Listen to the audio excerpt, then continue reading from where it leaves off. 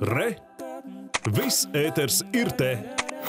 Ja valsts nāks palīgā no septembra 1800 Rīgā izmitinātie Ukrainas kara bēgļi varētu palikt bez pajumtes un galvaspilsēta varētu atteikties uzņemt jaunus bēgļus. Mājokļu atrašana aizvien ir viens no sarežģītākajiem izaicinājumiem, ar ko saskaras bēgļi galvaspilsētā un ar valsts sniegto atbalstu nepietiek. Turklāt pašvaldībai atteikts kompensēt izdevumus, kas saistīti ar atbalsta centra darbību, tāpēc domē neizslēdz, ka arī šo centru pašvaldībai varētu nākties slēgt. Par visu vairāk Vitas Anstrates sižetā. Ar 100 eiro mēnesī, lai izdzīvotu Rīgā, nepietiek. Taču tieši šādu summu no šīs piekdienas valsts nolēmusi atvēlēt Ukrainas kara bēgļu izmitināšanai. Rīgā viesnīcās un citās turisma mītnēs aizvien mitinās nepilni 2000 cilvēku.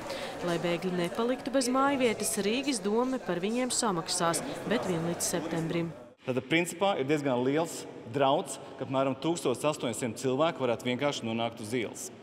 Teikšu vēl vairāk, kamēr šiem 1800 cilvēkiem, kurus mēs jau esam pieņēmuši un izmitinājuši, netiks atrasta vieta, mēs rīkosimies līdzīgi, kā rīkojas citas pašvaldības Latvijā un jau ir paziņojuši, ka jaunus uh, Ukraiņu civiliedzīvotājus mēs pieņemt nevarēsim. Šos cilvēkus tad nāksies uzņemt pašvaldībām, kur ar 100 eiro izmitināšanai pietiekot. To, ka mājokļa atrašana ir ļoti liels izaicinājums un sabiedrības aktivitāte apsīkst, pirms vairāk nekā mēneša norādījušas nevalstiskās organizācijas. Samazinot valsts atbalstu, arī varbūtība atrast dzīves vietu kļūst mazāka. Cik viegli ir atrast dzīves vietu? Noteikti ļoti atkarīgs arī no tā, ka veiksmes faktors noteikti ir liels faktors šajā dzīvokļu meklēšanas stāstā. Jāsaka, ka viegli nav īsi sakot. Tomēr domes deputātu iepriekš pieminētais scenārijs par cilvēku izmitināšanu skolās un sporta hallēs nav īstenots.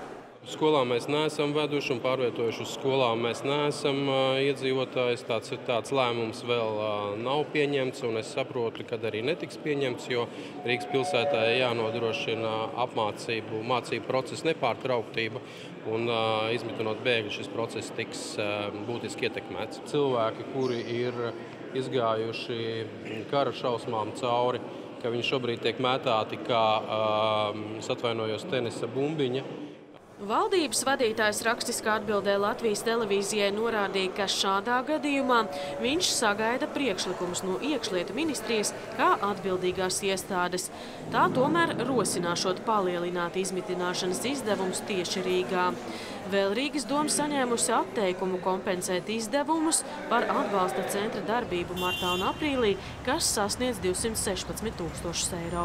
Ja dome nesaņems atbalstu, tad varētu izmērā lielo atbalsta centru slēgt un tā darbību pārcelt uz mazākām telpām, kur visi pakalpojumi iespējams nebūtu viena vieta. Šobrīd tas ir pāragri, es domāju. Jo par pašu karu nekas nav zināms, un cilvēki brauc un brauc. Nu, ja jūs pastītos 5 minūtes pirms 9 no rīta, šī rinda būs atkal visas mājas garumā. Vēl ministru prezidenta birojā Latvijas televīzijai skaidro, ka vēstule no Rīgas domas ir saņemta un premjers uzdevis vides un reģionālās attīstības ministrijai kopā ar finanšu ministriju to izvērtēt un iesniegt valdībā lēmumu projektu par vajadzīgā finansējuma piešķiršanu. Plānojam, ka tuvākās nedēļas divu laikā arī šis te dokumenti, šis grozījumi attiecīgajā rīkojumā varētu tikt iesniegt valdībai izskatīšanai un uh, finansējums attiecīgi pēc tam varētu tikt uh, pārskaitīts. Vitāns Stratīgors Stāts, Latvijas televīzija.